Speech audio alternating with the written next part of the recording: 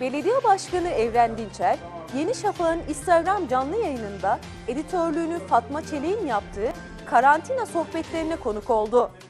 Belediye Başkanı Evren Dinçer, sosyal medya üzerinden yapılan canlı yayında Aksaray halkının ilk günden itibaren sosyal sorumluluk gerektiren davranışlar sergilediğini söyledi.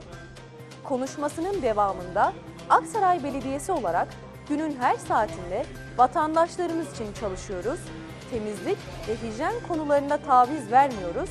Vatandaşlarımızın yoğun olarak kullandıkları yerleri dezenfekte ediyoruz ifadelerini kullandı. Yeni Şafak'ın canlı yayın editörü Fatma Çelik, canlı yayın programına konuk olan ve Aksaray'a dair bilgiler veren Başkan Dinçer'e teşekkür etti.